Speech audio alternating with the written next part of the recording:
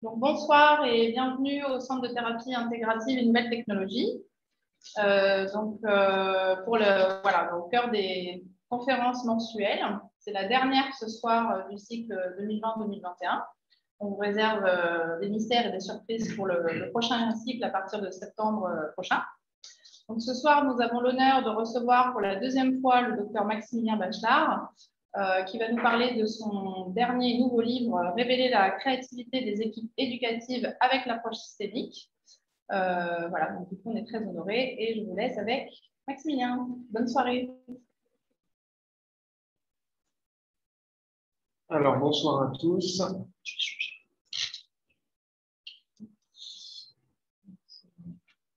On va mettre un petit peu en c'est ça? Exactement.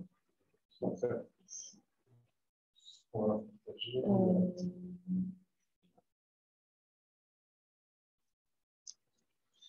Alors, bonjour à tous.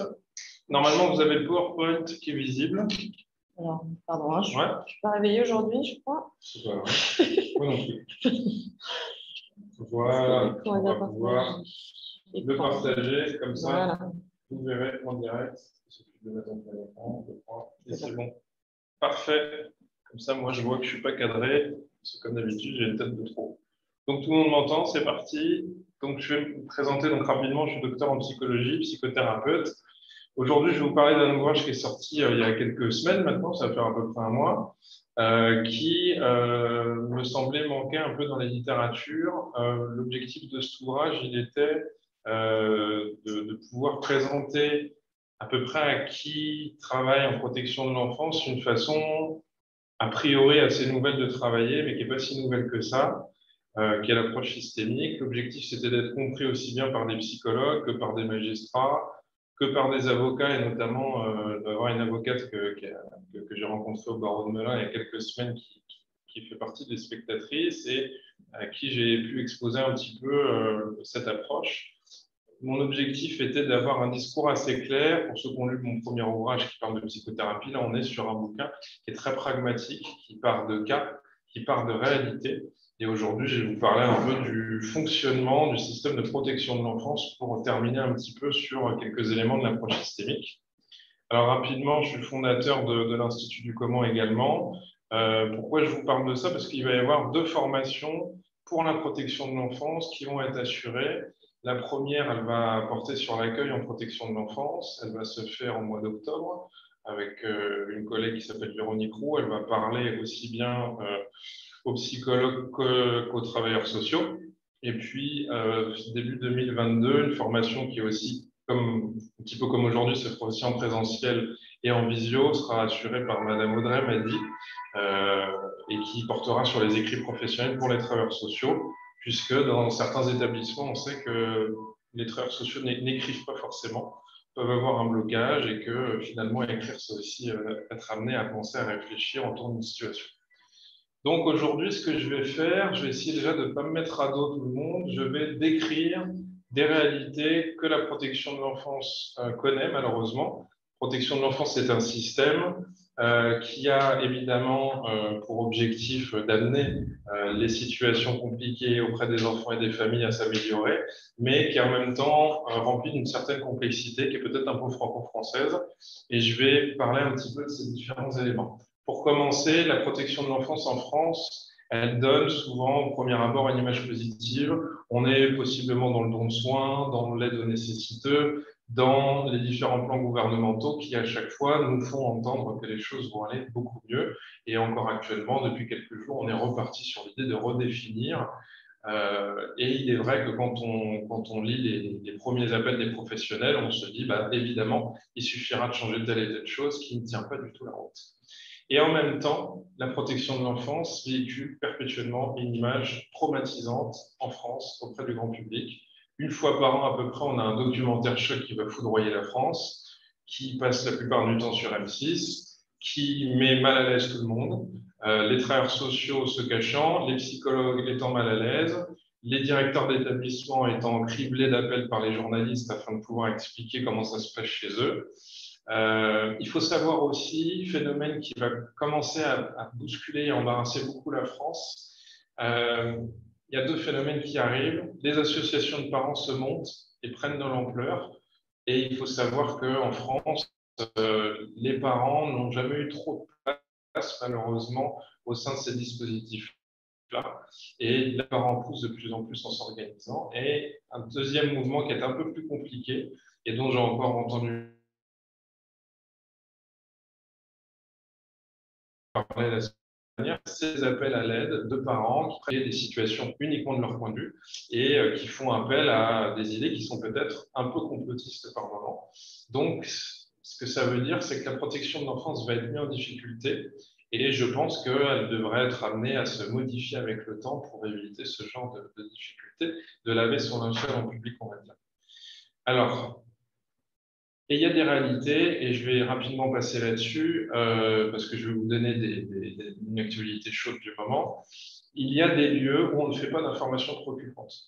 Ce qui, euh, quand on travaille en protection de l'enfance, est assez alertant, assez intrigant, puisque euh, une information préoccupante, c'est simplement relever qu'il y a eu des faits ou des paroles d'un enfant qui méritent d'être relevés et qui méritent d'avoir comment dire, une, une forme d'évaluation par une équipe. Et on peut parfois rencontrer un foyer, on peut rencontrer un CMP où il n'y a pas eu d'IP pendant 5 à 10 ans, par exemple. À croire que finalement, ce public-là ne montre jamais de difficultés particulières, et donc ça, ça interroge. J'ai pris un exemple, 20 mai 2021, donc c'était il y a quelques jours, grève des familles d'accueil qui porte sur les salaires et les jours de congé. La zone Loire-Atlantique est en grève, et je vous donne quelques éléments qu'on retrouve facilement dans les journaux. C'est un peu malheureux, ça fera sourire et en même temps ça dérangera certains, mais la protection de l'enfance sur Google Actualité, c'est quelque chose d'extraordinaire parce que toutes les semaines, vous avez de nouveaux problèmes. Donc, épuisement, burn-out, 909 euh, enfants en danger sans éducateur en Seine-Saint-Denis. On a les familles d'accueil en grève. On a le manque de personnel dans le Cher. On a le problème de l'hébergement en hôtel des enfants placés, les reportages qui mettent en difficulté, le rapport EGAS qui explique que finalement, il y a environ 10 000 jeunes qui seraient plus ou moins, selon l'article en tout cas, abandonnés dans des hôtels. Donc on est dans une difficulté perpétuelle et euh, bon courage à celui qui voudra tout reprendre, euh, puisque finalement on a tendance à rajouter des mesures sur des mesures. Là, vous voyez, 11 euh, juin, donc c'était il y a quelques jours, dans l'Hérault, euh, les services de l'aide sociale à l'enfance également commencent à se manifester. Et c'est perpétuel, j'ai l'impression qu'il y a toujours un département qui prend le relais. Alors, je vais noter quelques soucis qu'on peut retrouver dans la protection de l'enfance au niveau individuel et au niveau collectif. Au niveau individuel, pour moi, il est important, quand on est face à un professionnel, de savoir jusqu'où il peut malheureusement entretenir une forme de déni par rapport à des réalités. Donc, il y a des professionnels qui ne vont pas pouvoir entendre un seul instant qu'il puisse y avoir une hypothèse de maltraitance auprès de parents ou chez un, dans une famille. Où en est également le professionnel sur sa volonté de justice, puisque le professionnel, malheureusement, parfois, à vouloir, vouloir rendre justice à la place de la justice, peut se mettre à avoir des attitudes inadaptées, contacter telle personne, ne pas en contacter l'autre, faire tel type d'entretien, chercher à se confirmer telle ou telle hypothèse, donc ça, c'est un élément important à prendre en compte. Il y a aussi un élément aussi à, rappeler, c'est qu'à partir de quand le personnel se tait pour faire place aux professionnels? Donc, il est difficile dans ce métier-là de se départir facilement de ses préjugés. Et en protection de l'enfance, quand on reçoit une famille qui a été rencontrée par différents services, on a souvent des dossiers, des notes, plusieurs années de dossiers, plusieurs années de notes. Et on a une image qui est déjà préformée. Et le boulot du travailleur social est de réussir à jouer un petit peu avec ces trucs-là, puisqu'on a tendance à faire l'entonnoir d'une certaine manière et à ne plus aller vérifier des informations qui sont à vérifier et qui sont peut-être plus valables depuis dix ans. J'ai marqué l'enfer, c'est les autres. On peut par exemple interpréter facilement des attitudes parentales comme signe d'une incapacité éducative, alors que ça n'est pas forcément le cas. Ce que je suis en train de dire et je suis en train d'ouvrir sur la discussion par la suite, c'est qu'on ne peut pas présager d'un comportement et l'interpréter si à un moment donné on n'a pas rencontré les gens, si on n'a pas un minimum d'éléments sur l'histoire. Mais le système de protection de l'enfance ne nous amène pas forcément à faire ça. Euh, il fait un peu chaud, on est à Paris. Euh, en même temps, en se plaçant du côté des parents, on peut parfois comprendre leur réaction parce qu'on en oublie souvent que les parents ne connaissent pas le système de protection de l'enfance ne savent pas comment fonctionnent les mesures, n'ont pas toujours l'information. Si vous ajoutez un biais culturel, on ne comprend pas pourquoi tel monsieur ou telle dame devient agressif. En même temps, s'ils n'ont pas compris, s'ils n'ont pas les tenants aboutissants, on va avoir du mal à faire travailler finalement une famille. Une des difficultés qui est franco-française dans la protection de l'enfance, malheureusement, et moi je le constate puisque je suis amené à faire des supervisions dans beaucoup d'équipes, c'est qu'on est souvent amené à devenir des spécialistes, à détecter les différentes problématiques et dysfonctions chez un jeune ou dans une famille. Et ça fait partie du boulot de la protection de l'enfance, de vouloir prendre une photo qu'on essaierait d'avoir la plus objective possible, notamment en termes de danger, mais en même temps, et c'est là le gros problème dans notre système, en même temps, on est là pour accompagner ces familles, chose qu'on oublie assez souvent. Donc, on a des services qui font des IP, d'autres qui font une évaluation en faveur ou défaveur d'une partie de la famille. Et puis, on se passe le relais et se pose la question de quand est-ce qu'on les accompagne, quand est-ce qu'on les amène à se transformer, quand est-ce qu'on les amène faire une thérapie familiale, quand est-ce qu'on est amené à rencontrer la famille au complet, quand est-ce qu'on est amené à rencontrer le couple parental. Cette dimension est parfois chantée et je vais vous dire, il est toujours compliqué d'accompagner les gens quand malheureusement on a participé à leur stigmatisation qui est en même temps demandée à travers l'évaluation. Au niveau collectif, dans les différents soucis qu'on peut avoir dans la protection de l'enfance, il y a le fameux, et ça revient assez souvent, qui fait quoi Donc vous avez un département, vous avez un juge, vous avez un inspecteur, vous avez une MEX, vous avez une EMO, il y a deux ans, vous avez une IME. Donc, on est amené à voir en satellite beaucoup de partenaires, beaucoup d'intervenants. Qui fait quoi pose un gros souci. Il y a une répartition des pouvoirs entre l'aide sociale à l'enfance et les opérateurs qui est complexe et qui varie, même à l'intérieur d'un département. Intervenant dans différents départements de Seine-et-Marne, je me rends compte que finalement, certaines MEX fonctionnent d'une certaine manière, pensent qu'il faut fonctionner comme ça, alors que d'autres MEX ne fonctionnent pas du tout de cette manière-là. Donc là, ça pose un souci. Il y a des départements où on ne discute pas avec les MEX. Il y a des MEX qui ne veulent pas discuter avec le département. Il y a des départements où on envoie directement l'opérateur d'une MEX, par exemple, ou en AEMO, va envoyer directement son rapport au juge. Il y a des endroits où l'aide sociale à l'enfance bloque ces rapports et le juge ne veut pas les lire. Donc, on est dans une cacophonie où à chaque fois, pour ma part, et toujours dans le même département où je travaille, je suis amené à redécouvrir, découvrir pour la première fois quelles sont les règles dans cet établissement et pourquoi on en est arrivé là. Plus il y a de responsables dans une chaîne, plus elle devient fragile. Qui renouvelle une carte d'identité On ne sait plus. Qui signe une autorisation de sortie On ne sait plus. Qui peut communiquer son rapport au juge On ne sait plus. On nous a dit qu'il ne fallait pas le faire. Parfois, les services ne s'autorisent pas à le faire alors qu'elles pourraient le faire. Parfois, elles le font et elles se font taper sur les doigts. On en oublie même parfois l'autorité parentale, notamment sur l'actualité. Est-ce qu'on vaccine les enfants ou pas? Eh ben, La question a été chantée dans différents départements. On laisse parfois les familles d'accueil dire ce qu'elles ne sont pas censées dire ça renvoie à la question des places et des secrets. Alors, exemple typique, euh, une famille d'accueil est au courant qu'il euh, va y avoir une plainte qui va être déposée contre le papa d'un enfant qui est accueilli dans une famille d'accueil. Et puis, la, donc, la, maman de, l'assistante familiale est au courant et on lui dit on, on, vous tient au secret, il fallait qu'on vous le dise, et puis on va bientôt en parler aux jeunes la semaine prochaine. Puis la semaine prochaine, on ne le fait pas parce qu'on n'a pas le temps, parce qu'il y a des gens qui sont partis en vacances, parce qu'on n'a pas fait de réunion. Et puis ça dure. La semaine d'après devient deux mois plus tard. Parce que la famille d'accueil accueille le jeune. Et puis le jeune n'est pas bête, il a compris quelque chose qui n'allait pas, il a entendu des bruits de couloir, il commence à aller pas bien du tout. Et, euh, bah, chose normale, quand on vit avec quelqu'un, à un moment donné, on peut être amené à lui donner l'information parce qu'on se dit le pauvre, il n'est pas au courant, il va aller voir son père, mais il n'a pas le droit ou c'est risqué. Donc moi, je prends le risque de lui dire. Et là, vous voyez que la chaîne est en train de se bousculer et on en arrive parfois à malmener la famille d'accueil en disant mais pourquoi vous avez balancé ça? Bah, Tout simplement parce que la famille d'accueil était dans un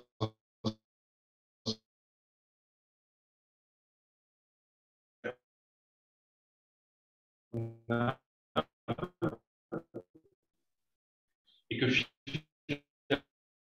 l'organisation dans différentes instances rendre la cohérence et la mise en place des stratégies plus difficiles. Qu'est-ce que ça veut dire? C'est qu'il y a d'acteurs désordonnés et sans pensée, plus on va rejouer les problématiques familiales. Donc, c'est pour ça que je suis souvent amené à proposer aux équipes que je supervise de, forcer une rencontre, qu'elles le veuillent ou non, avec le département. Parce que si le département a une idée et part dans une direction et que le service euh, qui euh, accueille l'enfant du lundi au dimanche dans une autre direction, on est dans un truc complètement dingue. Il y a aussi la question du partage d'informations, puisque si une MEX est au courant d'un événement grave et que la note n'a pas été faite et que le département n'a pas l'information, forcément, on est amené à faire des choses complètement incohérentes. Un autre exemple typique qu'on retrouve très souvent, le juge a accordé des droits de visite et d'hébergement. Donc l'équipe me dit, on va donc faire des droits de visite et d'hébergement. Et puis on me dit, bah, ça fait trois mois que c'est appliqué.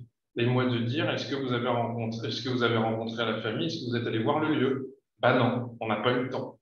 Et puis c'est à la ZE de le faire. Et quand vous appelez la ZE, la ZE dit, c'est pas à nous de le faire. Et puis finalement, trois mois après, on se rend compte que l'enfant vit par terre dans une caravane depuis trois mois. C'est de la faute de personne en fait. Et c'est ça qui devient problématique et ridicule. C'est que parfois, plus on est nombreux, moins on est amené à se dire qui fait quoi, et plus on se retrouve avec des catastrophes incroyables, avec un juge qui est mal à l'aise, avec une mec qui est mal à l'aise, avec le département qui est mal à l'aise, et avec le gosse qui n'a pas voulu euh, non plus rompre les liens avec son père, qui l'a protégé, qui veut quand même le voir. Et donc, on est tous d'une certaine manière un peu responsables de quelque chose sans vraiment l'être. Il y a également des évaluations imprécises des équipes qui parfois ne se sentent que sous-traitants de l'aide sociale à l'enfance. Donc on dit, euh, nous, on est là pour accueillir un jeune. On n'a pas eu le choix. Alors ça ne veut pas dire que c'est le cas, mais on n'a pas eu le choix. Euh, on nous a dit qu'il fallait le prendre. On nous a dit qu'il fallait qu'il y ait des places qui soient pourvues dans la MEX. On n'a pas été là lors de l'évaluation. Et puis de toute façon, on nous a dit qu'on n'avait pas le choix parce que sinon le département ne nous financerait plus. Donc quelque chose qui est possiblement de l'ordre de la réalité, c'est sûr, mais il y a quelque chose aussi à relativiser. Au niveau collectif, il y a également un manque d'écrit. Écrire, c'est apprendre à voir, et voir, ça permet d'apprendre à écrire. La loi implique également de rencontrer les familles. Et ça, parfois, quand je le dis en supervision, on est étonné. La loi implique ça. Alors, évidemment, vous qui m'écoutez, peut-être que dans votre service, vous avez cette habitude, mais la majorité du temps, ce n'est pas le cas, et ça ne va même pas sous le sens. Et pour tout vous dire, il y a des endroits où on ne rencontre jamais les familles. Jamais. En pratique, donc on le fait peu, et on peut être amené implicitement à se substituer à la fonction parentale, en fait, en oublier que finalement, et ça parfois ça choque quand je le dis, selon moi, L'objectif de la protection de l'enfance, évidemment, au premier recours, est de protéger, mais ensuite est le retour en famille, sauf impossibilité constatée. C'est-à-dire qu'on ne peut pas simplement évaluer au doigt mouillé, il faut pouvoir dire on a mis en place telle et telle chose, il s'est passé ça, ça, ça, ça et ça, on a essayé encore telle autre stratégie, et donc on en conclut que ça n'est pas possible. Sinon, si on n'a pas cet objectif en tête de possible retour à la maison, l'objectif, il va devenir la chronicisation. Et c'est bien la difficulté la plus importante en protection de l'enfance.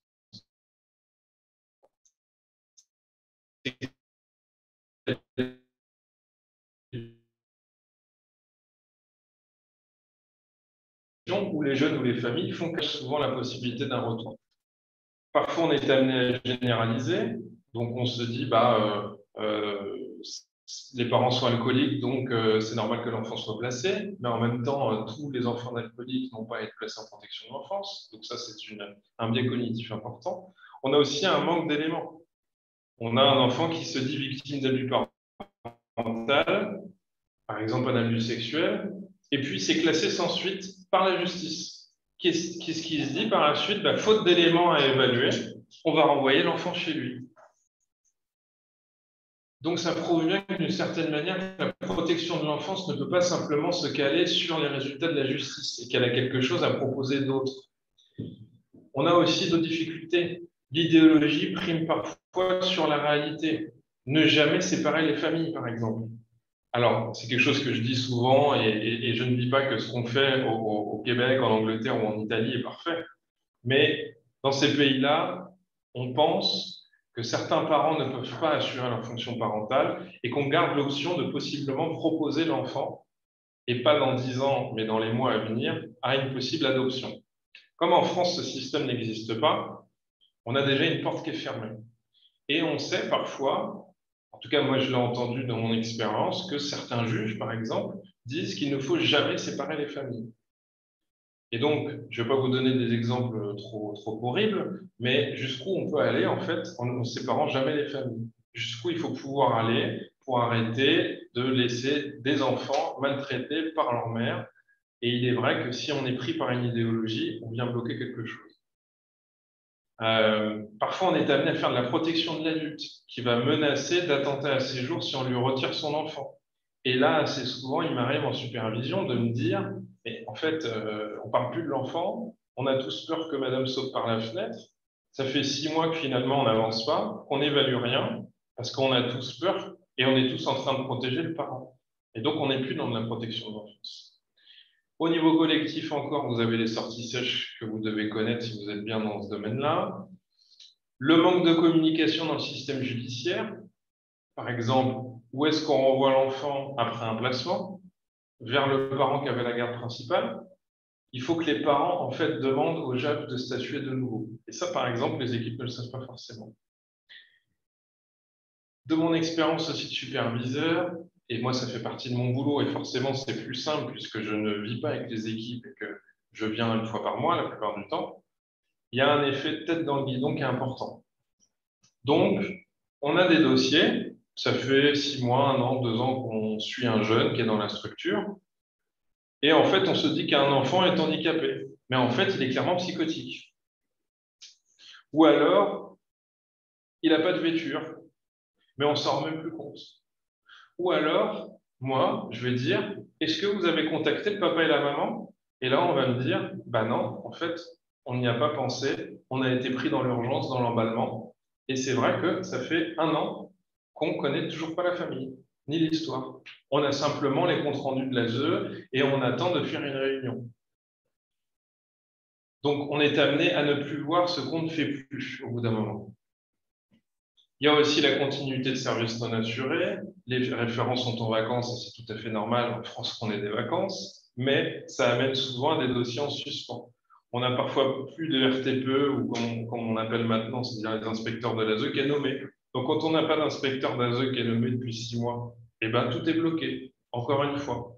C'est pour ça que dans l'ouvrage et dans mes supervisions, je suis amené à voir souvent les chefs de service et à questionner les pratiques concrètes parce qu'on n'est pas simplement là pour phosphorer intellectuellement ensemble. Si à un moment donné, tout est bloqué et qu'on ne peut plus rien faire pour le jeune, qu'on ne peut plus faire signer aucun papier, là, on peut toujours me dire que l'équipe éducative est en souffrance. Moi, je m'en fiche complètement. Elle est en souffrance pour des raisons bien concrètes qu'il va falloir régler. Parce que superviseur, psy ou tout ce que vous voulez, ça ne compensera pas le fait que le jeune il est bloqué, il est empêché dans sa vie et qu'il va falloir concrètement faire bouger les choses. On a aussi parfois des informations essentielles qui ne sont pas partagées entre les services. Parfois, les informations les plus graveleuses sont connues de tout le département, si ce n'est pas la France entière, mais l'essentiel n'est pas dit. Donc, on a différents points de vue sur une situation sans recherche de synergie. Et ça, j'ai envie de dire, c'est complexe quand on a différents points de vue. C'est complexe, c'est embarrassant, mais il va bien falloir en sortir une synthèse parce que si finalement, à la table des négociations, entre guillemets, en tout cas, une réunion, je ne veux pas entendre ce que dit un, service qui connaît le jeune depuis six mois et que moi, je pars dans une autre direction, en fait, on ne bosse plus ensemble. Et je suis souvent amené indirectement à répondre à une partie du désir de la famille et je vais me planter, en fait. Comme je vous disais, les rapports des opérateurs parfois, parfois qui ne sont pas transmis au juge. Donc ça, ça arrive dans certains départements. Je ne sais pas si c'est lié au département, peut-être que c'est lié à un moment donné à un tribunal en particulier, aux pratiques de certains juges, j'en sais rien. Mais on a parfois, des, par exemple, une MEX qui a des informations cruciales et qui ne peuvent pas être connues du juge parce que le département ne veut pas transmettre l'information. Ça pourrait être l'inverse. pour moi, la question, c'est pas de savoir qui est fautif et je m'en fiche complètement. Tout ce que je sais, c'est que dans l'objectif d'aider les jeunes ou la famille, on se demande pourquoi on est plusieurs. Et à un moment donné, certains nourrissent presque l'envie de monter leur propre service ou de ne plus faire partie d'une équipe, parce que c'est à se demander pourquoi on est ensemble, puisque finalement, on ne fait rien de nos idées communes. Donc un service peut recevoir une commande explicite ou implicite. Par exemple, la transmission d'une information importante que le jeune n'a pas et qui peut faire l'effet d'une bombe. C'est souvent une information qu'on ne veut pas lui annoncer. Alors, je ne sais pas, euh, le papa euh, va être euh, incarcéré. Les questions qu'on doit se poser dans une équipe, en tout cas dans une institution, c'est est-ce que le service va le dire parce qu'on lui a dit de le dire? Comment il va le dire? Quand est-ce qu'il va le dire? Avec qui? Quels sont les enjeux d'expliquer ça? Et est-ce à ce service d'acter la commande qui lui est faite? Parce que évidemment, dans des champs comme la protection de l'enfance, où les choses sont un peu brûlantes, un peu compliquées, un peu embarrassantes, évidemment, les mauvaises nouvelles, on ne peut pas les annoncer. Et donc, le réflexe que peut avoir une équipe, c'est de se dire, bah, nous, on a reçu un email, on nous dit de faire ça, on le fait. Et puis, bah, on se retrouve parfois à annoncer des choses juste avant le départ en vacances, juste avant une visite chez les parents. Euh, comme ça, la, médiation termine en pugilat euh, comme pas possible, parce que ça n'a pas été pensé. Il y a quelque chose à dire également sur les IP, la loi de 2008. La loi de 2008, par les informations préoccupantes, elle est en soi stigmatisante et elle accroît le sentiment de honte. Parfois, elle est bloquée avec le risque d'une catastrophe. Donc, il y a à certains endroits du système, pour différentes raisons, des informations préoccupantes qui ne sont pas transmises. Et ce qui fait que, bah, malheureusement, le lendemain, vous apprenez dans les journaux qu'il y a une catastrophe parce qu'on n'a pas transmis l'information préoccupante que vous aviez sur une famille. À l'inverse, parfois, il y a un trop-plein d'informations préoccupantes qui ne servent plus du tout à rien. On n'avance pas avec ce truc-là. On a hyper stigmatisé et en même temps, on n'avance plus. Il faut savoir que l'information préoccupante, la plupart du temps, comme je l'entends, elle sert à se protéger d'une non-assistance à personne en danger. Les familles, avec ce système euh, d'information préoccupante, sont amenées dans une double contrainte que je vais vous expliquer. Les familles n'ont pas le choix d'avoir le choix d'être aidées. Le travail il commence par une dénomination de leurs problèmes aux yeux de l'extérieur. Cette condition, elle crée un sentiment d'impuissance des familles et ça les éloigne de l'émergence d'une possible demande d'aide, ou tout au moins d'une activation de la famille en toute liberté auprès des professionnels. Quand on est dans l'information préoccupante, le juge pointe du doigt une famille et lui dit finalement, vous n'avez pas d'autre choix que d'avoir envie qu'on vous aide. C'est comme si je vous demandais d'être spontané si vous êtes spontané, par définition, et que je vous l'ai demandé, vous n'êtes plus spontané. Donc on est dans un, dans un double bind, comme on dit, dans un paradoxe dont on ne peut pas sortir. Hardy, qui est un, travailleur social belge, nous dit que les personnes visées ont trois possibilités dans ce système-là. Soit elles refusent l'aide, elles se replient, soit elles acceptent l'aide en reconnaissant d'avoir un problème, soit elles jouent le jeu en acceptant officiellement et mimant une demande d'aide. Et ça, c'est très souvent ce qu'on retrouve dans ce genre de système, où on a l'impression d'avoir le signal d'une famille qu'elle est, est prête à travailler. En fait, ce n'est pas du tout le cas. Des déferlantes d'informations que je donne, euh, qui sont peut-être des redites, mais qui sont importantes à, donner. Je vais vous dire quelque chose qui est très à la mode, qui, qui dérange d'année en année, le management financier, qui est une réalité. Hein. Si l'État demande du chiffre, le département réduit les enveloppes des établissements qui ne remplissent pas les objectifs. C'est comme ça, c'est normal, hein. on ne peut pas avoir un puissant fonds financier. Mais en même temps, ça va malheureusement parfois amener les établissements à remplir des services quitte à mettre les équipes en difficulté, quitte parfois à ce que ça ne remplisse pas la commande de ce qui est censé faire l'équipe. Donc on se retrouve avec, euh, entre guillemets, une population qu'on n'est pas amené à traiter. C'est comme si en psychiatrie, on vous mettait euh, des dépressifs avec des schizophrènes, avec des alcooliques, avec euh, des enfants, avec des personnes âgées. Et on vous dit, bah, c'est comme ça, il fallait bien remplir. Là, ça vous parle peut-être un peu plus, mais ça devient un peu le bordel parce qu'il y a un problème de génération, il y a un problème de pathologie, il y a un problème de beaucoup de choses. Eh bien, c'est la même chose, malheureusement, en protection de l'enfance, puisqu'on fonctionne de plus en plus finalement à la question financière. Mais comme je le dis souvent, l'hospitalier et l'enfance, c'est deux gouffres à pognon qui permettent par la suite de pouvoir améliorer la société, mais ce n'est pas un investissement direct qui nous fait gagner de l'argent. On ne peut pas être dans une logique capitaliste. Quand on est amené à travailler avec une approche systémique, euh, on essaye de passer de pourquoi ça ne va pas dans une famille à comment on pourrait faire en sorte que ça avance. Et donc, ce qu'on comprend, pour un peu euh, résumer ce que je viens de dire, le système qui est censé protéger ne le peut pas toujours. Il peut aller jusqu'à se questionner sur comment se rejoue la maltraitance. Pour ceux qui connaissent, vous voyez, ça, ça donne un système assez, euh, assez complexe. Donc, vous avez l'enfant au milieu, la famille d'origine, les liens extrafamiliaux, la famille d'accueil qui est importante, le service mandaté, l'institution. Il y a un cadre administratif, il y a un cadre judiciaire, et tout ça, finalement, je crois que ce schéma-là, il devrait être à l'esprit à chaque fois des gens qui travaillent dans, la protection de l'enfance en se disant qu'est-ce que pensent eux, qu'est-ce que pensent eux, qu'est-ce que pensent eux, et qu'est-ce qu'on fait avec ça? Parce que si ce service-là rencontre le père et que nous, on n'y a même pas pensé, qu'on ne peut pas lui parler, peut-être que finalement, on est en train de creuser différents trous à différents endroits et que ça va faire un chantier qui participe à la chronicisation du problème faut pouvoir à un moment donné réunir les forces, avoir quelque chose qui est cohérent. En poupée russe, les équipes sont dans une obligation de travail avec les partenaires du système. Si une équipe n'est pas satisfaite du partenariat avec le département, elle ne peut pas le refuser et elle ne peut pas rayer le département de la liste des collaborateurs. Et inversement. Donc on est aussi, pour le professionnel, comme pour la famille, dans une contrainte, on est amené à aider des familles qui n'ont rien demandé et à travailler avec un département avec qui on ne peut pas toujours travailler. Donc tout le monde est bloqué, tout le monde est pieds poings liés. Tous les professionnels sont donc sous contrainte, mais ce cadre de travail peut devenir un atout et il doit être pris en compte dans chaque situation. Donc deux façons d'amener les choses. Vous n'avez pas le choix, et nous non plus, on n'a pas le choix à ce moment-là. On ne connaît pas le juge, il ne vous connaît pas, faisons connaissance, essayons de faire en sorte que vous n'ayez plus à nous revoir dans quelques mois. Donc là, vous voyez qu'on commence à être dans une optique non pas de listing des pathologies, des problèmes, des signes inquiétants, etc., mais on est déjà dans une optique de comment on va pouvoir faire pour que vous n'ayez plus à nous revoir. Qu'est-ce qui pose vraiment souci selon vous et comment on pourrait faire autrement? Il faut savoir également que les familles qui se présentent, la plupart du temps, elles sont assez penaudes. Quand elles sont agressives, c'est souvent soit par peur, soit parce qu'elles connaissent les services sociaux depuis des années.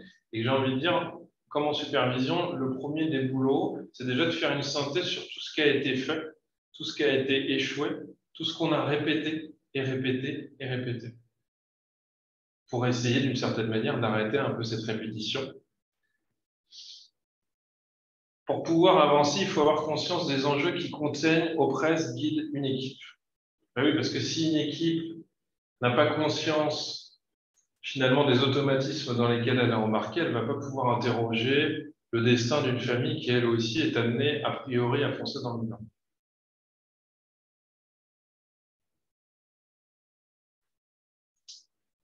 Alors, qu'est-ce que c'est qu'un système? Un système, c'est un ensemble d'éléments qui sont directement ou indirectement reliés. On appartient tous à plusieurs systèmes, système juridique, familial, éducatif, la protection de l'enfance est un système. Avoir une vision systémique, ça nous permet de sortir d'une logique causale linéaire.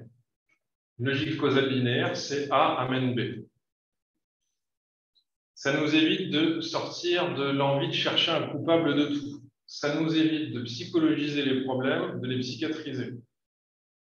Donc, un enfant est phobique social, donc, c'est intéressant de se demander qu'est-ce qui se passe au lieu de tout de suite faire cours à la maison et lui donner un antidépresseur et un arrêt pour qu'il aille à l'école.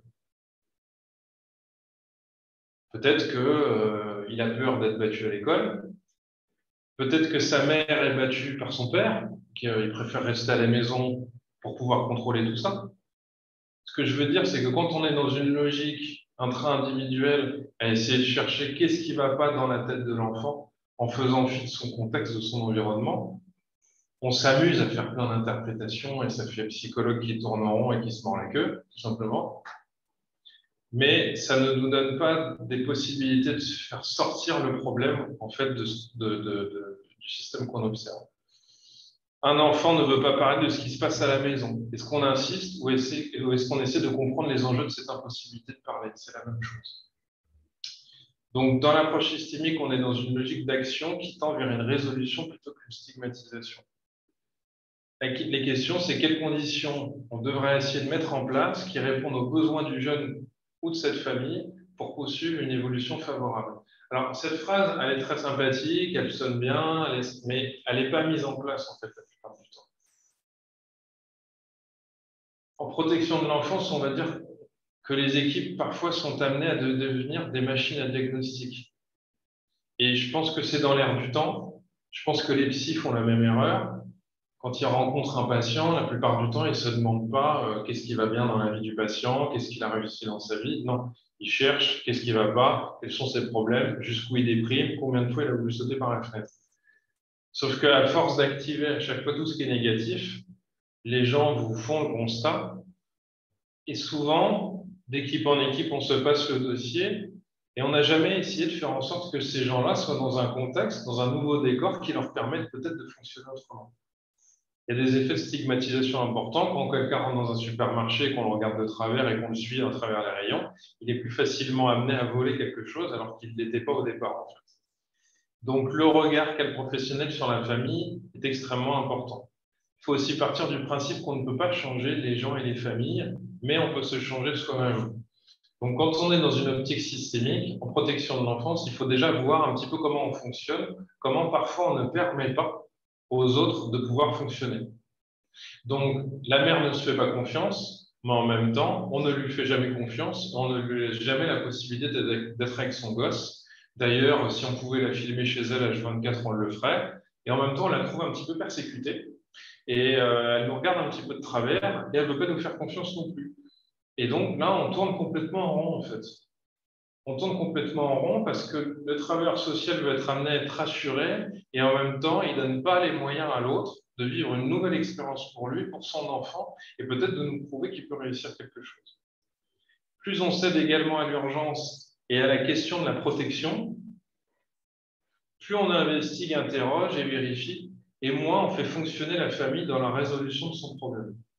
Et ça, notamment, on peut le voir assez souvent dans les consultations familiales, quand les familles viennent en consultation, voir des travailleurs sociaux, voir des psys, ils attendent et ils nous disent aidez-nous, faites quelque chose.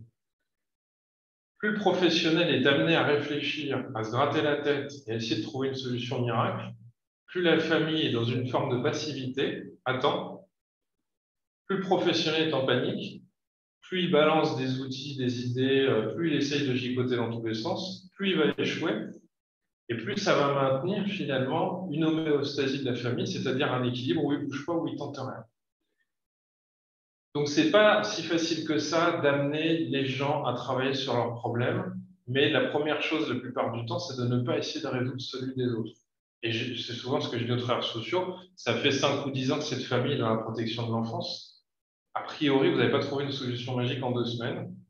Donc, tout le boulot, il n'est pas de stigmatiser ou de chercher une solution, c'est de réussir à faire en sorte que les gens s'occupent un peu de leur situation, se racontent par rapport aux gens, s'activent, prennent des rendez-vous, se déplacent, vivent une expérience, se rencontrent, que eux fassent quelque chose, plutôt qu'on s'évertue à gigoter dans tous les sens.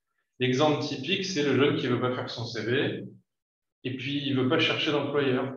Donc, qu'est-ce que fait le travailleur social au bout d'un moment Il devient dingue, il prend le stylo, il fait faire le CV par le jeune, il en su après 4 heures de boulot, il prend le gosse, il le balance dans la voiture, il l'amène au stage.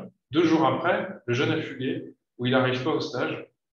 Parce qu'en en fait, finalement, vous voyez bien la volonté du travailleur social qui est légitime, à vouloir aider absolument l'autre. Il se retrouve dans la même posture que le parent, à, en devenir fou, à sauter par la fenêtre, alors que le jeune, il ne veut rien faire du tout. Toute la question, c'est comment je vais me mettre en route, plutôt que de se demander comment moi, je vais me mettre en route pour l'aider, en fait.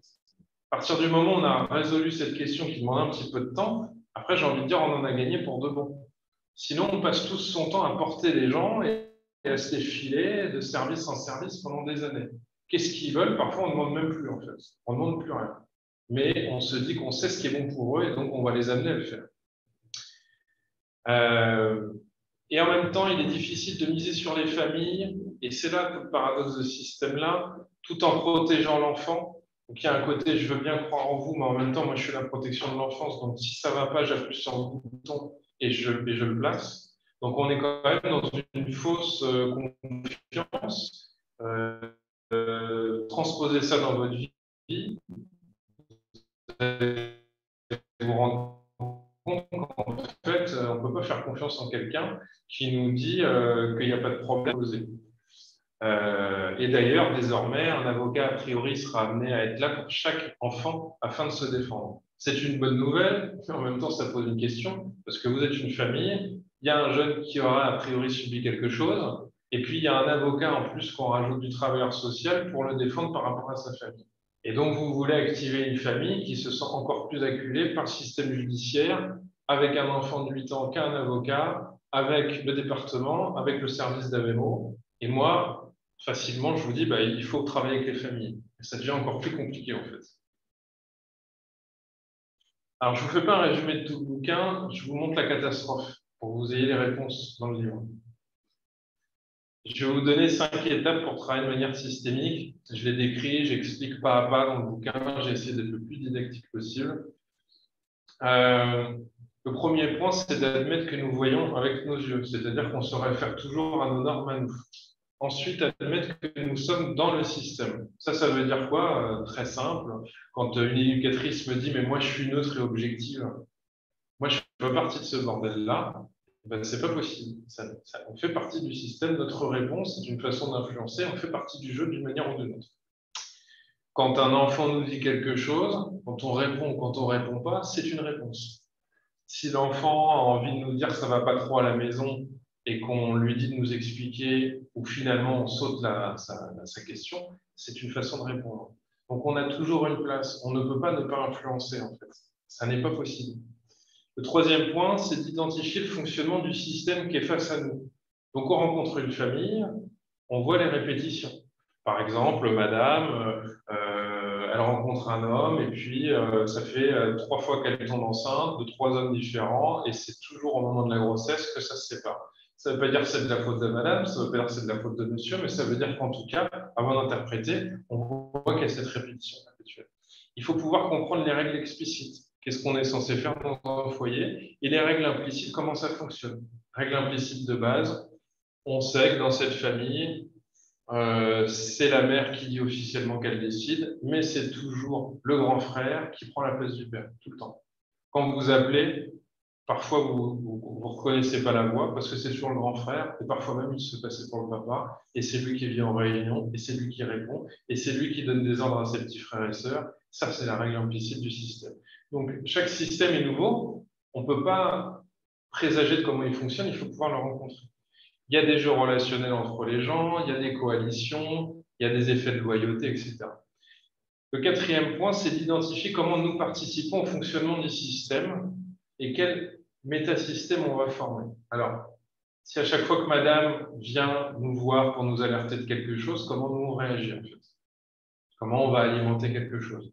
C'est très important parce que si l'équipe a l'impression finalement d'observer objectivement les choses, elle est en train de nier son influence et donc elle est encore plus éloignée de la possibilité d'aider à infléchir quelque chose d'autre en fait. Donc il faut déjà qu'elle accepte qu'elle est en lien, que peut-être elle répond tout le temps, qu'à chaque appel de madame, tout le monde est en gros délire dans le service, qu'on arrête tout, qu'on court chez elle pour l'aider, et que pour une autre famille, avec monsieur, par exemple, on répond jamais parce qu'il nous fatigue.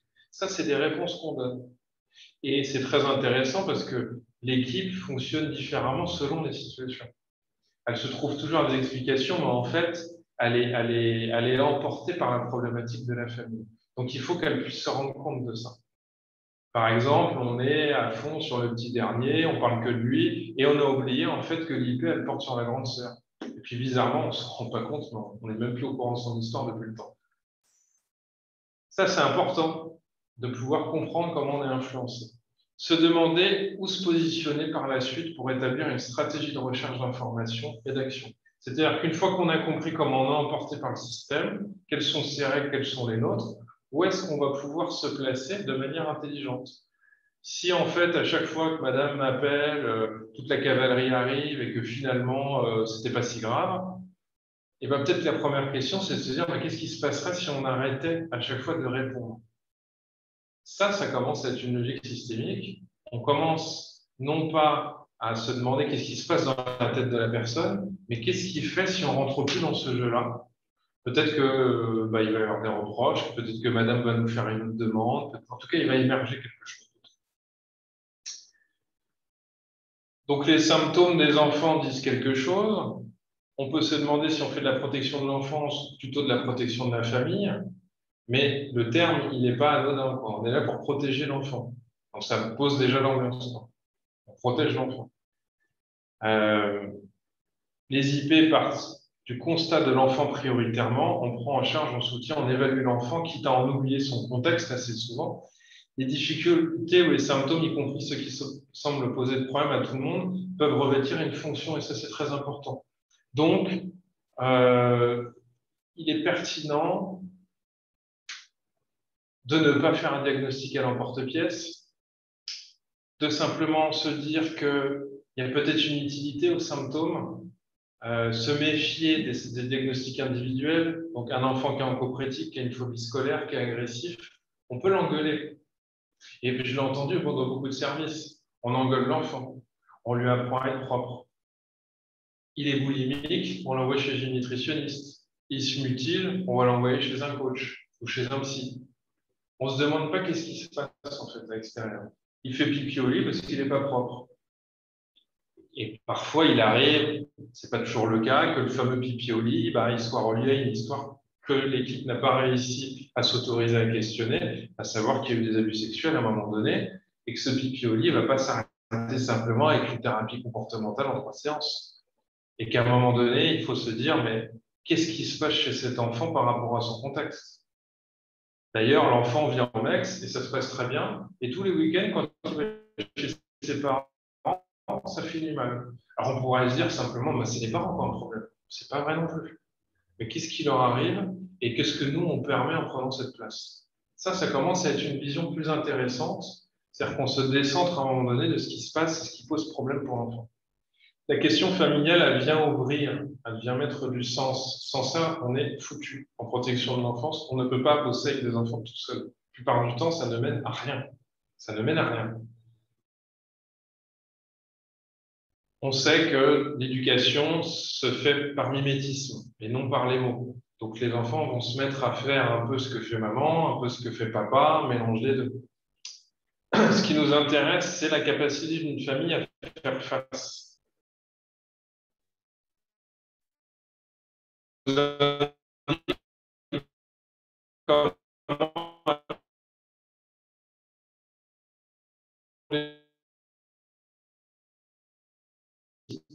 Comment ceux-ci peuvent être amenés à 20 kilos de moins et que le couple est au bord de la rupture et que tous les enfants s'engueulent, là, ça commence à nous dire quelque chose qui ne va pas qu'il va falloir creuser bien au-delà d'une supposée anorexie de l'enfant. Ça ne suffit pas.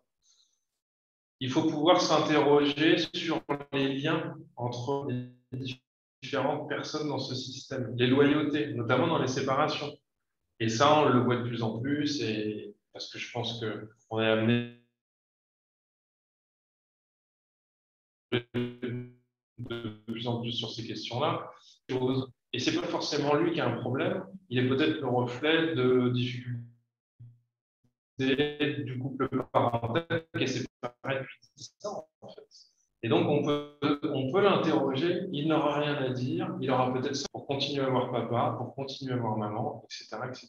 Si vous n'avez pas cette réflexion-là, vous dites simplement que l'enfant est menteur, que l'enfant n'est pas clair, que l'enfant est multiple, c'est tout, en fait.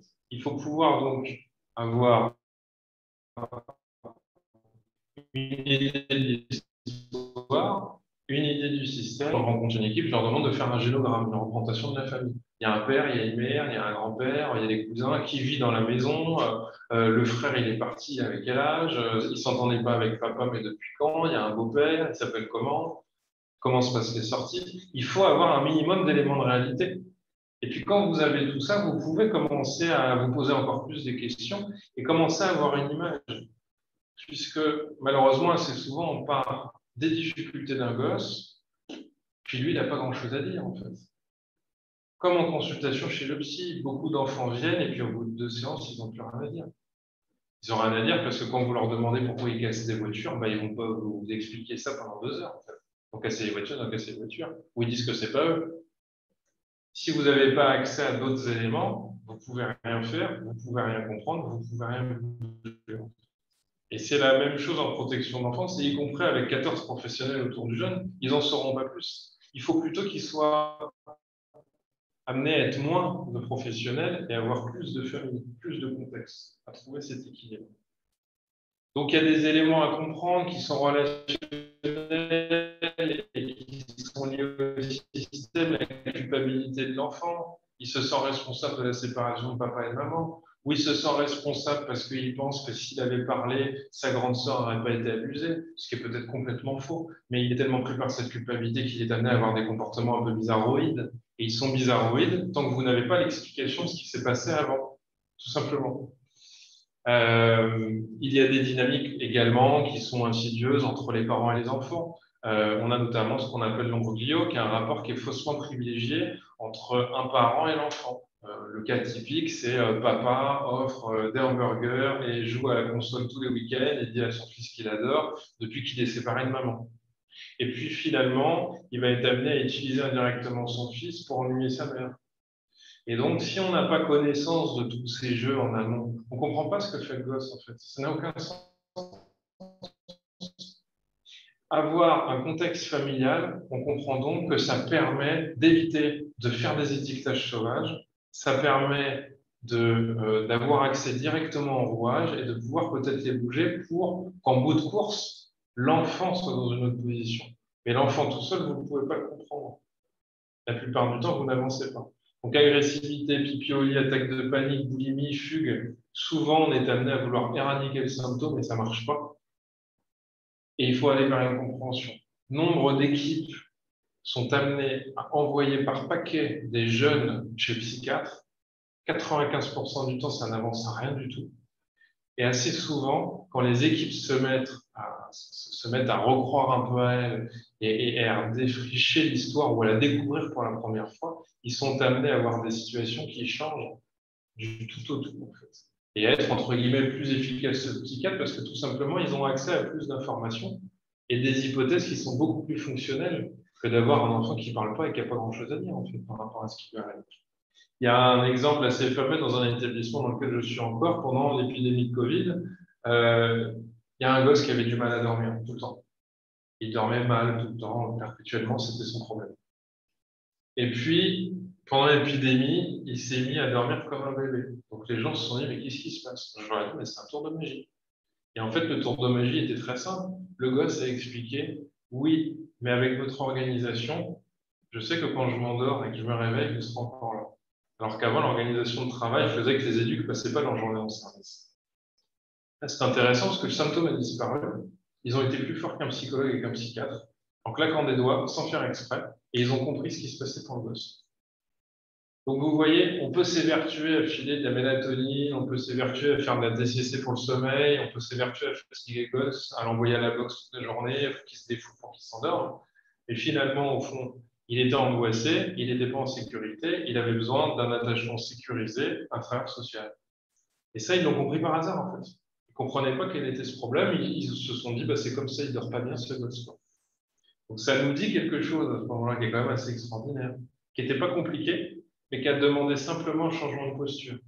C'est en ça où l'épidémie n'a pas été inintéressante pour beaucoup d'équipes, c'est qu'elles se sont mises à bosser autrement et à constater qu'en bougeant leur décor, les gosses faisaient autre chose.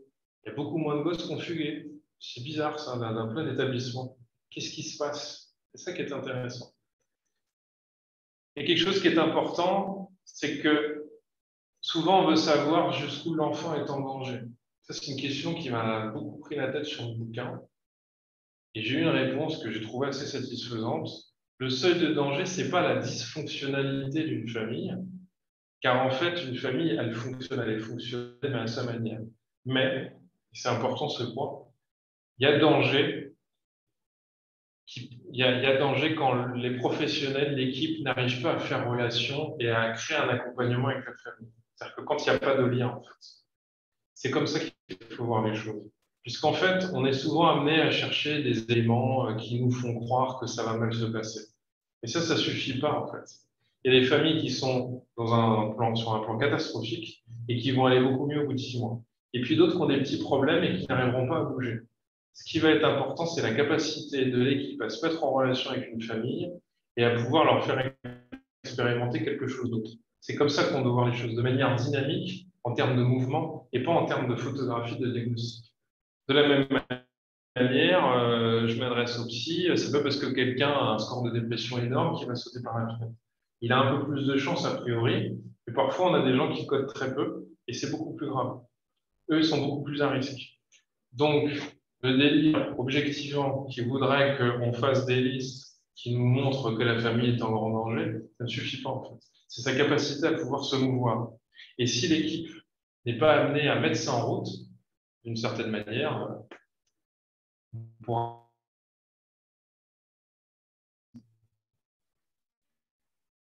Je vais bientôt m'arrêter là parce qu'il y aura peut-être des questions. Ça permet d'accompagner différemment une situation qui était alors perçue comme statique. Ça permet de mieux travailler en partenariat avec les autres acteurs et les familles. Ça permet de reposer les responsabilités de chaque acteur et ça c'est toujours un peu confrontant, mais c'est la réalité, de penser la question de la chronicisation des réponses éducatives avant de pointer du doigt la chronicisation des problématiques familiales. Parce que parfois on se dit, mais en fait, ils font toujours la même chose. mais regardez-vous, vous proposez la même chose. Donc forcément, en face, ça propose la même chose. Et c'est toujours facile de dire que l'autre n'y arrive pas. L'autre n'est pas créatif. Mais est-ce que nous, on est créatif Est-ce qu'on ne propose pas toujours les mêmes entretiens inintéressants euh, avec un objectif euh, administratif qu'on nous a pondu c'est ça cette question-là. Après, on se dit, bah, les familles sont rodées. Bah oui, mais en fait, vous posez toujours une question. Donc, les familles sont rodées, c'est sûr. Vous ne leur posez pas de questions décalées. Vous n'essayez pas de les rencontrer. Vous voyez? Moi, le premier étonnement que j'avais en institution, c'était d'aller faire une visite à domicile. Et à chaque fois, on me disait, les psy, visite à domicile, on n'en a jamais rencontré. Bah si, allez, hop, on va dans la bagnole, on y va. Et il se passe quelque chose de nouveau, en fait. Ça commence. On commence par un étonnement plutôt que d'attendre de rencontrer la famille et puis de faire un entretien aussi basique et puis de ne pas prendre de nouvelles, par exemple. Donc, ça, pour pouvoir faire émerger une créativité chez les gens, encore faut-il un minimum être amené à se décadrer soi-même, à peut-être sortir de, de envie de dire, de la caricature dans laquelle on est amené à travailler. Euh, l'idée, c'est d'amener une communication différente, notamment par rapport aux juges, parce que souvent j'entends dire oui, mais les juges, ils sont bloqués, ils ne voudront pas, ils font toujours la même chose. Quand une équipe est amenée à observer vraiment différemment une famille, elle est amenée à écrire différemment. Par exemple, en listant euh, euh, toutes les répétitions éducatives depuis des années, les dates, les impasses dans lesquelles on a été. L'objectif pour moi, souvent, des équipes, c'est de les amener à penser la problématique de la famille vraiment pour la première fois, de donner un sens nouveau à l'histoire, d'arrêter d'être dans la continuité des anciens rapports qui n'ont parfois pas mené à grand-chose, afin d'une certaine manière de donner une marge de manœuvre pour le juge. Ce que ça veut dire, c'est que l'équipe vient aider le juge à se positionner parce que l'équipe se positionne mieux elle-même. Ce que ça veut dire, c'est que souvent, on se dit, mais pourquoi la famille bloque? Pourquoi le juge bloque? Et le juge, il se demande pourquoi la famille bloque et pourquoi l'équipe bloque. Et tout le monde tourne rond et tout le monde est bloqué. Donc, dans ce genre de truc, il faut bien à un moment donné proposer une, une réponse novatrice. Donc, il faut que l'équipe puisse avoir une expertise. Beaucoup d'équipes, finalement, ne veulent plus avoir d'expertise, font simplement ce qu'on leur dit de faire. Nous, on est un foyer, on est là pour les enfants, on fait le petit-déj, on les amène à l'école. De toute façon, on n'a pas de réunion, on n'a pas de retour sur ce qu'on fait. Donc, on accueille les jeunes. Mais ça, ça suffit plus à un moment donné. Ça ne va pas. Donc, moi, mon boulot, souvent, c'est de les amener à se réintéresser à ces histoires, à développer une vraie expertise, à s'autoriser à activer sa propre réflexion. Parce qu'on me dit, mais moi c'est bizarre parce que j'ai lu le père à trois reprises et j'ai relu le document et j'avais l'impression que ce n'était pas le même père que ce qui était décrit il y a quatre ans dans notre service. Ah, ben, c'est intéressant. Peut-être qu'il va falloir en faire quelque chose en fait. Parce que là, il y a une lumière et il va falloir que vous ouvriez la porte. Euh, et donc, ces équipes, elles doivent se mettre à analyser les commandes des autres partenaires afin de se garder de faire, comme on dit, plus de la même chose. Parce que si c'est pour refaire toujours les mêmes choses, ça ne sert à rien. Euh, j'avance un peu, il me reste à peu près deux, diapos. Pour Guy Oslo, qui est un psy qui, était euh, en France, je crois, après il est en Belgique, en Suisse et maintenant au Québec. Il n'existe pas de famille dysfonctionnelle ou déséquilibrée, mais il y a des familles en fonctionnement et en équilibration. Je vous donne un résumé un peu de sa pensée. Pour lui, toute famille est inscrite dans un processus qui est ponctué d'inévitables crises, des moments où des changements importants sont en train de se produire dans ces moments-là. Donc, ça peut être la naissance du premier enfant, départ du petit dernier, etc. Toute famille, pour lui, a les ressources et les compétences pour traverser ces crises, même si dans certaines situations, elle ne sait pas les utiliser, elle ne sait pas qu'elle en a, elle a, été empêchée de les utiliser ou s'empêche de les utiliser. Donc, vous comprenez que ça va à l'inverse souvent de ce qu'on peut penser, que finalement, comme dirait Guillardi, on a des cas sociaux et donc on va s'occuper de leurs enfants parce qu'ils ne sont pas capables. À partir du moment où on croit que les gens sont vraiment incapables de faire quelque chose, à partir du moment où on ne vient pas chercher ce qui pourrait fonctionner, on ne fait que d'alimenter le problème. Les familles, pour lui, ont les compétences pour effectuer les changements dont elles ont besoin, à condition qu'on leur laisse expérimenter leur auto-solution et qu'on active le processus qui les y autorise. Ça suppose pour les familles de chercher leur auto-solution plutôt que de suivre les conseils de professionnels. Parce que quand on me donne un conseil, je suis moins amené à me l'approprier. Puis si je suis dans une double contrainte où je n'ai pas le choix, ben, je ne risque pas de le faire, ce que vous me dites. Ça ne va pas me plaire.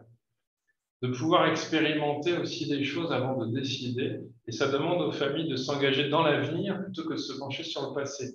Ça, c'est un travail, ça encore, c'est une phrase qui est basique. Mais la plupart du temps, malheureusement, protection de l'enfance, on peut être amené des vrais archéologues ou fossoyeurs à chercher tous les problèmes, à dire oui, mais madame, il y a 10 ans, elle est hospitalisée, elle est alcoolique. Ben ouais, mais là, on est 10 ans après. Apparemment, elle n'a pas touché une goutte d'alcool, elle fonctionne. Qu'est-ce qu'on fait avec ça? Si elle est vraiment foutue, moi, c'est ce que je dis, hein, et eh ben, écoutez, pour tirer l'autorité parentale, vous adoptez l'enfant. Parce que là, on est dans un truc où, en fait, il a 12 ans, il reste six ans avant sa majorité. Qu'est-ce qu'on fait alors? On le garde en foyer parce que c'est foutu, parce qu'on a déjà condamné la mère. Donc on est bien obligé à un moment donné d'essayer de faire un pari et puis surtout de se dire peut-être que les choses ont changé, puis on va peut-être les retester et puis on va pouvoir en dire quelque chose. Dans certains rapports, en fait, malheureusement, on sent que c'est plus à l'appréciation au doigt mouillé du travailleur social qui est inquiet du devenir de l'enfant et qui finalement n'a pas essayé de retenter quelque chose. On pourrait se dire que c'est l'échec de la famille. Pour moi, c'est l'échec de la profession à vouloir essayer de, retenter une expérience pour pouvoir voir si ça marche ou pas.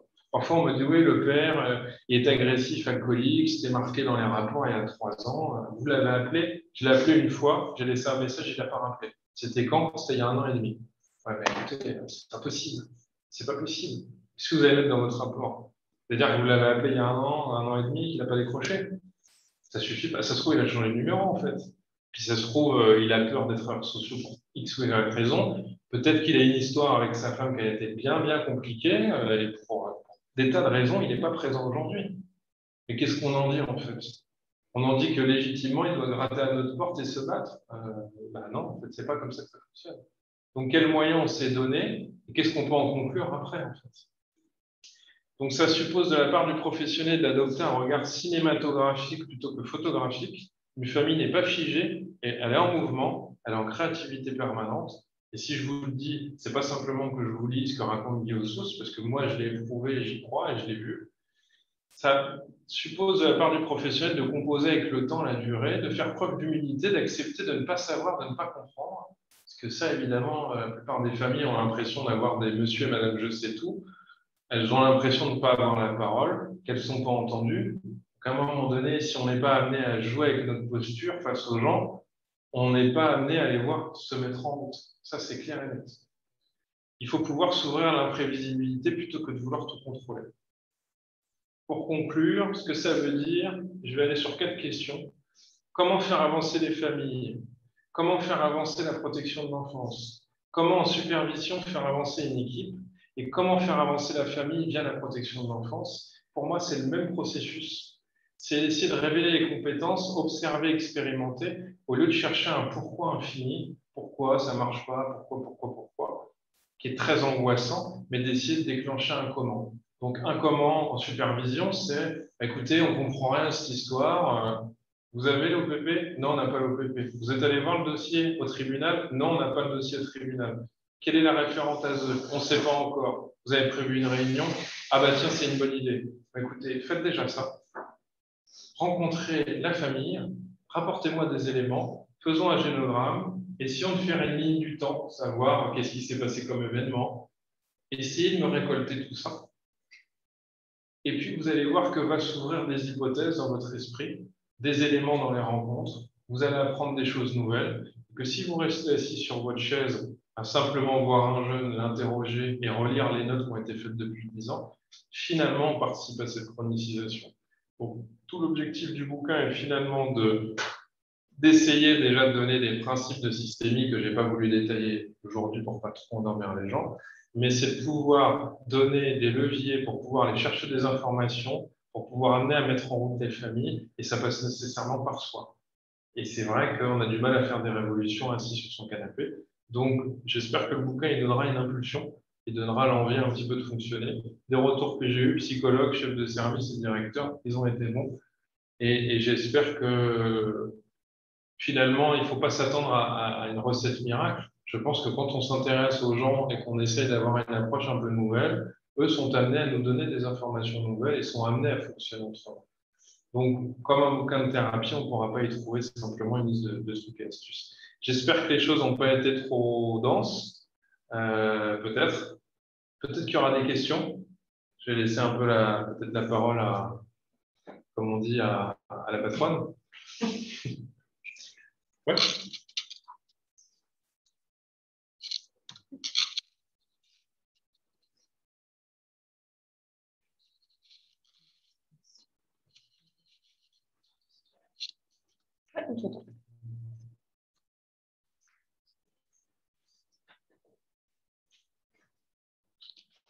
Madame Alexandra Non, c'est pas madame. Alors, c'est un petit peu tendu. Ça a commencé très fort. Je dis tout ah, Peut-être s'il y a des questions. Alors, il y a des commentaires. La première question, c'était euh, comment rencontrer la famille lorsque l'enfant n'a que des BM avec les parents pris dans une enquête pénale? L'ASE est dans la protection à tout craint dans ce cas-là.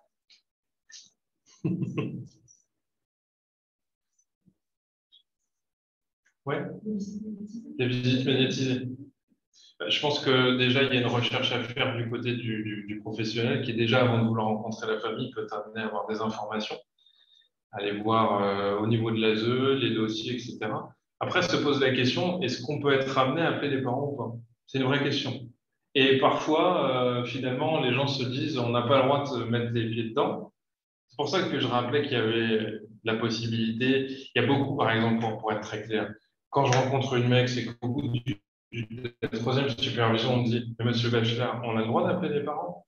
Bon, voilà, ça donne l'ampleur du truc.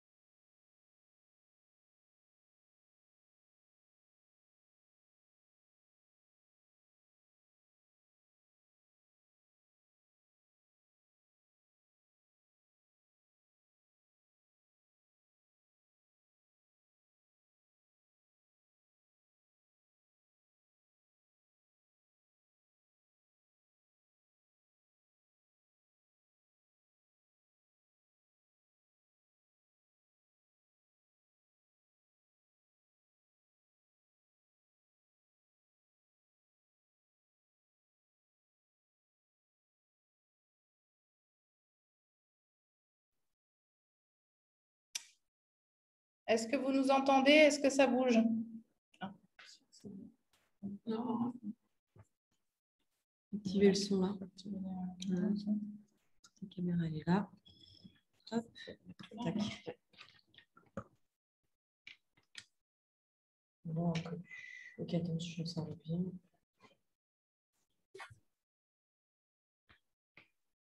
On entend mais pas d'image. Alors. C'est bon pour l'image? Apparemment, c'est bon. Alors. Alors, ensuite.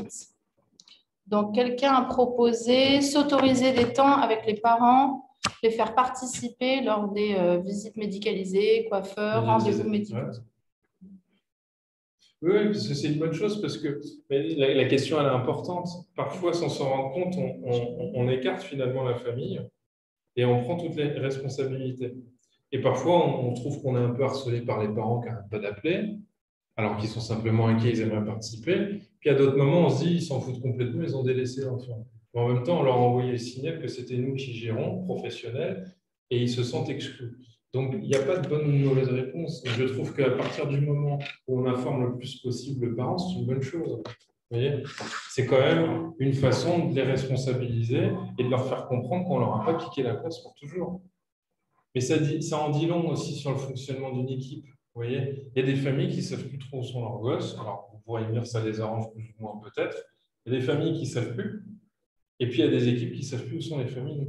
Donc, on est pris dans ce problème-là. Donc, oui, plus on peut faire participer, plus ça peut être une bonne chose. Mais après, c'est toujours au cas par cas, en fait. Parce que si on est là pour ajouter du contrôle par une famille qui est hyper contrôlante, c'est pas mieux non plus. Quelqu'un propose des ateliers mis en place sur les structures avec possibilité de médiatiser avec la ZE ou pas? Mhm. Oui. Ok.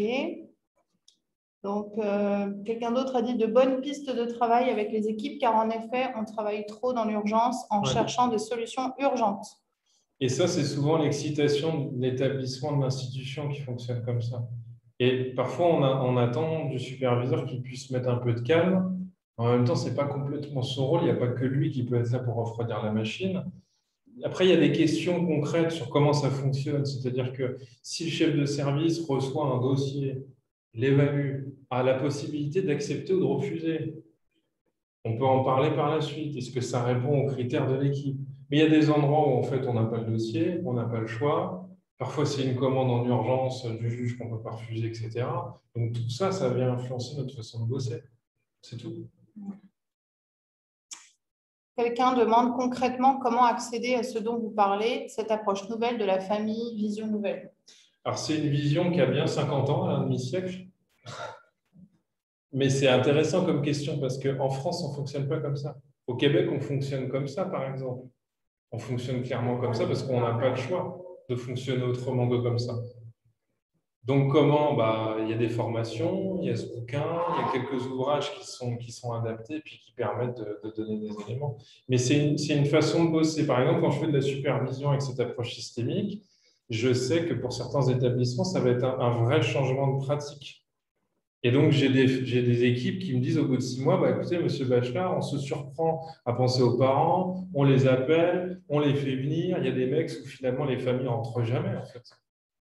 Donc, c'est toute une façon de bosser, toute une idéologie là, qui est en train d'être modifiée. Moi, j'appelle ça une modification de la culture d'entreprise, carrément.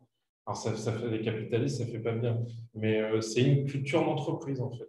Si les parents n'existent pas, si on ne les appelle jamais, si on ne les informe jamais de rien, déjà, on est dans le sens inverse. Donc, il faut aussi que les équipes prennent le temps de pouvoir affronter les familles parce qu'elles en ont peur, de savoir comment les aborder, parce qu'elles ont peur d'être envahies par les familles, elles ont peur d'être jugées par les familles, elles ont peur de ne pas savoir tenir un entretien elles ont peur d'avoir des informations dont elles ne sauront pas quoi faire.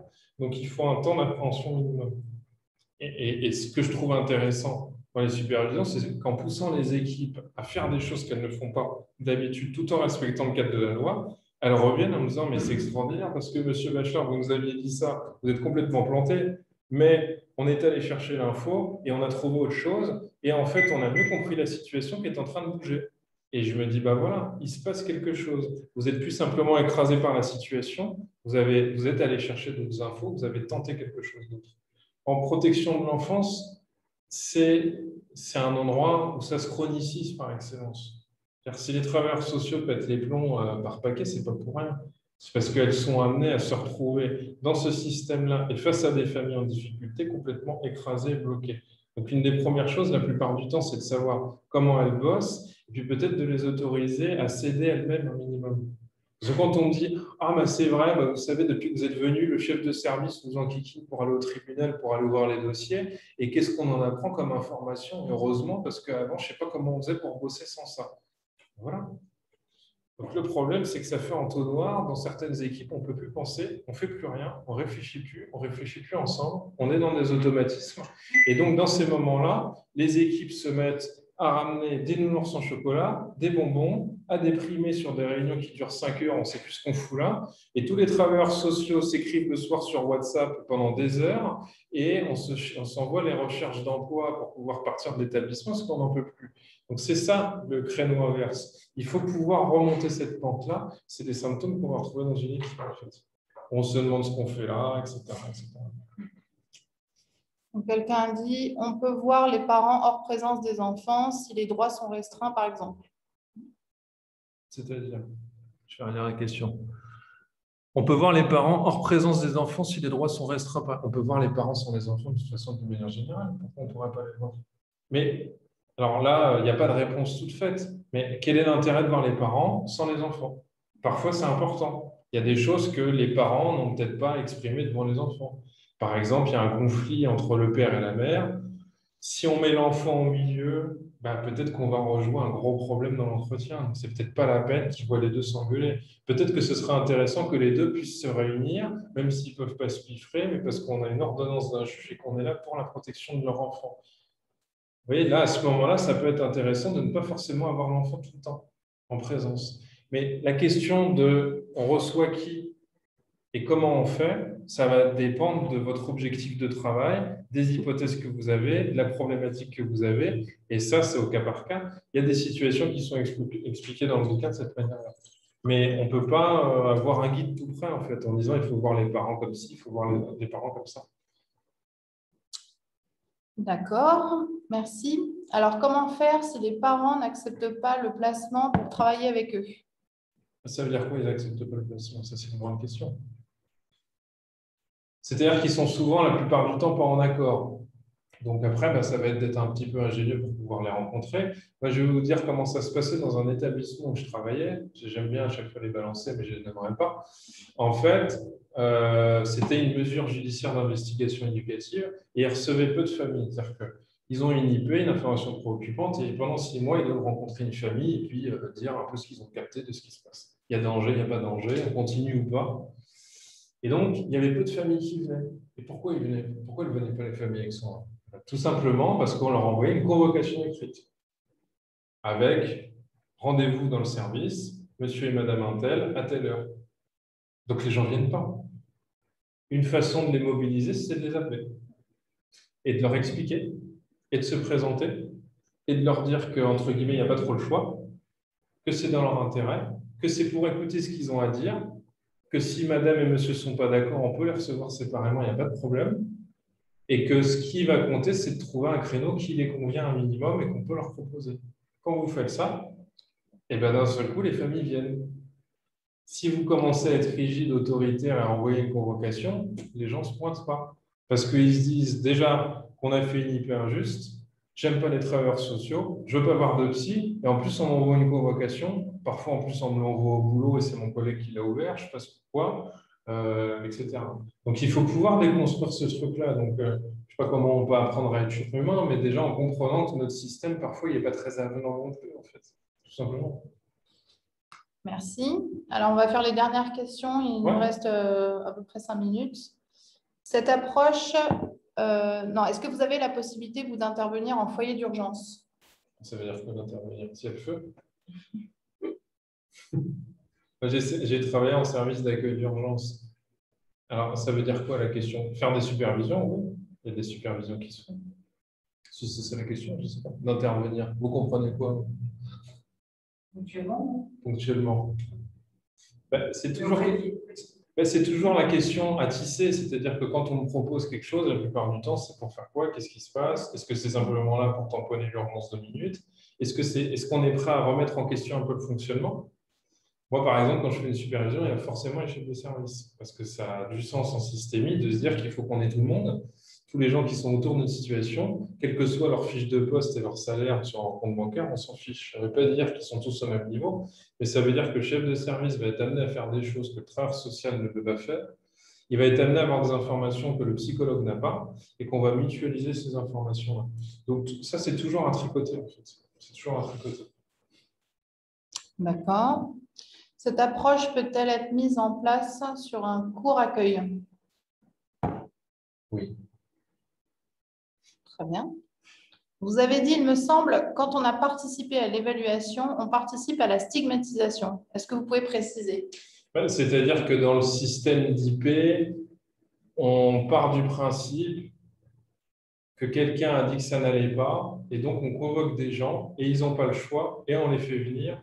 Et malheureusement, la plupart du temps, en protection de l'enfance, de l'expérience que j'ai, de tous les collègues que j'ai autour de moi, on est plutôt amené non pas à valoriser ce qui a fonctionné, mais on est là pour mesurer euh, les engueulades, les divorces, euh, les consommations d'alcool, les rendez-vous chez le psy du gosse en CMP. On est amené à évaluer l'étendue des dégâts. La plupart du temps, c'est comme ça. On est, on est, et alors qu'on devrait être dans une tension où on se dit, bon, il y a des difficultés, mais on va être amené à accompagner. C'est le système qui est comme ça, en fait, la plupart du temps. Vous avez un service qui est là pour évaluer la dangerosité, la judiciarisation ou non, donc on est dans un truc très grave. Vous avez un foyer où on va mettre un enfant en attendant, et puis voilà. C'est comme si finalement il fallait faire un service qui s'occupe d'accompagner la parentalité et de faire en sorte qu'on sorte de la protection de l'enfance. Il faudrait faire un, service de sortie de protection de l'enfance. Vous voyez, parce que finalement, ce n'est pas pensé comme ça. Et en même temps, si personne ne pense comme ça, il y a un problème. C'est-à-dire qu'on garde les clients jusqu'au bout.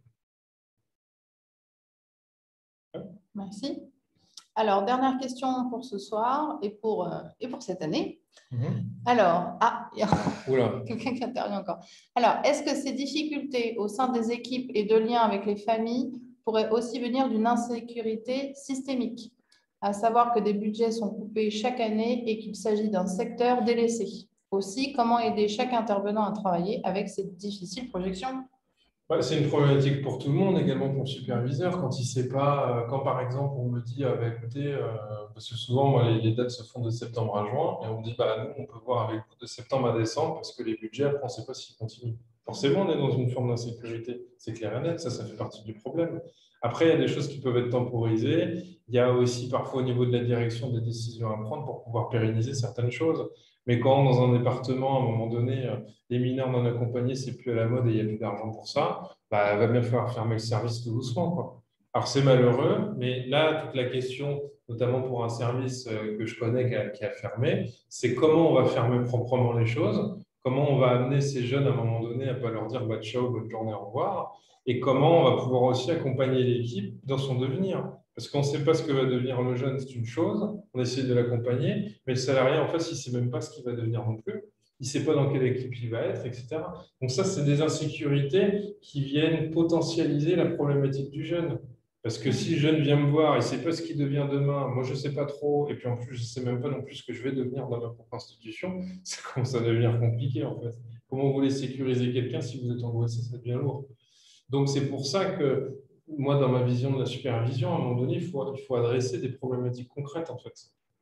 Il faut adresser des problématiques concrètes et tout n'est pas une histoire de psychologie entre guillemets. S'il euh, y a un intérimaire, on ne sait pas s'il reste, c'est compliqué, etc., euh, etc. Il y a des enjeux relationnels, on s'attache.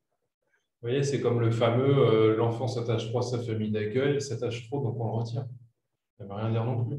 Ça, ça fait partie des explications qu'on peut se donner quand il commence à se passer quelque chose. Donc forcément, euh, on est face à des enfants qui ont probablement été dans des multiples insécurités et le minimum qu'on doit pouvoir leur offrir, c'est un minimum de sécurité. Maintenant, euh, c'est sûr que si les pouvoirs publics ou les politiques départementales partent dans tous les sens, euh, on est obligé soit d'avoir un directeur qui dit la vérité, soit on a un directeur qui finalement dit c'est comme ça, c'est pas autrement, et en même temps, soit il ment, soit il dit la vérité. S'il ment, c'est encore pire. Il ne va pas commencer à dire, vous inquiétez pas, il n'y aura pas de problème. voyez? Donc, évidemment qu'on est dépendant de ce truc-là. Mais c'est la même problématique dans un hôpital. Hein. Quand on vous dit qu'on ferme des services, on ferme des services. C'est clair. Allez, une petite dernière pour la route. Marie-Lise nous dit un enfant placé qui est en attente de sens, symptômes, sur un secret et les parents ne sont pas d'accord pour révéler tandis qu'il est dans le dossier et qu'ils sont mis en examen. J'essaie de, trouver un sens au sens de sa question. Donc, on est sur. Euh, mais c'est drôle parce que finalement, on sent cette titille, mais elle ne va pas tout expliquer. En plus, c'est par écrit, c'est encore plus compliqué. Et en plus, ça nous parle d'un enfant dont elle aimerait lui dire un truc, mais elle ne peut pas lui dire non plus parce que c'est dans le dossier et c'est lié aux parents avec une mise en examen. C'est ça? Oui. Alexandra confirme, c'est exactement ça. Qu'est-ce qu'on doit dire par rapport à ça? Euh, bah, je pense qu'il faut pouvoir garder un cadre propre, c'est-à-dire qu'il y a des informations qu'on n'a pas à transmettre aux jeunes, mais peut-être que si lui se pose des questions, peut-être en faire quelque chose avec lui, plutôt que d'éviter en fait et de dire qu'il n'y en a pas de problème. Il y a beaucoup de jeunes, notamment, je fais, une analogie. Dans la question des abus sexuels, c'est pareil. C'est-à-dire qu'il y a beaucoup de jeunes qui ne vont pas vous balancer tout comme ça. Mais par contre, si vous amorcez un peu la question, eh bien, ils sentent que vous êtes suffisamment prêt à pouvoir recevoir les interrogations ou les choses délicates. Donc, je crois que le professionnel a à faire cet effort-là d'ouvrir quelque chose. Voilà.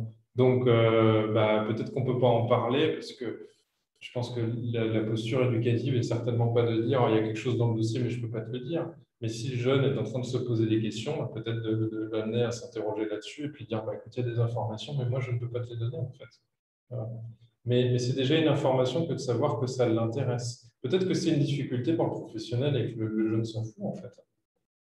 Mais le, problème du secret, c'est qu'une fois qu'on l'a, on est soumis à une certaine contamination et en même temps qu'on aimerait le dire, il faut qu'on le garde, qu'on l'incarne, qu'on le porte, mais surtout qu'on ne le nomme jamais. Donc on est pris, on peut être pris dans une forme de culpabilité. Mais je crois qu'il faut aussi se dire que parfois le système il est fait comme ça et qu'on n'a pas forcément à faire justice et que, euh, mais, de relever auprès des professionnels, bah, qu'est-ce qu'on fait avec cette information qui pose problème pour le jeune? S'il n'est pas en danger imminent, euh, je pense que ça doit devenir un objet de travail. Mais bon, tout ça, ça doit être décortiqué, vous voyez, ça doit être décortiqué dans une situation qu'on va analyser, dont on va prendre au moins une heure en supervision, parce que là, il n'y a pas de trucs et astuces à donner. Quoi. Ben, ce sera pour votre prochaine supervision, euh, qui aura lieu la semaine prochaine, il faut en parler au superviseur. Il faut dire, euh, on ne m'a pas répondu jusqu'au bout, et puis vous expliquerez la situation, et puis j'espère que la personne vous donnera des, éléments. Parce que ce n'est pas pour rien qu'elle se pose cette question-là, cette personne, par rapport à cette situation, en fait.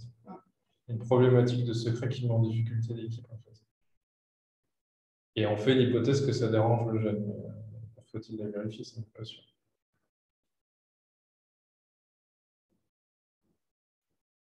Ah, je vois quelqu'un qui marque je suis psy trois petits points. Bah, je suis désolé. Moi aussi. Mais, mais, je pense que psy ou éducateur ou quoi que ce soit, il y a toujours un intérêt à la supervision parce que, comme je le pense, à un moment donné, on a dans le guidon, on est pris dans des habitudes, dans des automatismes euh, institutionnels. Les psys aussi ont une difficulté qui est une facilité, c'est que la plupart du temps, ils sont à temps partiel. Donc, ils rentrent chez eux, ils font leur autre mi-temps ailleurs et donc ils reviennent. Quand on a un travailleur social qui est là le jour, qui est là la nuit, qui est là depuis 10 ans, du lundi au dimanche, qui est suspendu au téléphone tout le temps, bah, lui, il peut un peu moins prendre de recul. Donc, pour le psy, par sa quantité de travail, il est un peu plus à même de reculer, mais je pense qu'on n'est jamais à l'abri en fait, euh, d'un besoin à un moment donné de prendre du recul sur ce qu'on est en train de faire. La preuve, euh, moi, je continue à avoir une supervision besoin de temps en temps sur des suivis familiaux parce que, parce que je ne sais plus où je patauge, en fait. Je ne sais plus dans mes stratégies où je vais, j'ai des informations contradictoires, je ne sais plus si ce que je fais est bon pour moi ou bon pour l'autre, si ça a un sens thérapeutique, etc. Bon, ben voilà. Merci beaucoup. merci pour votre attention. Voilà. Merci à vous. Merci à tous.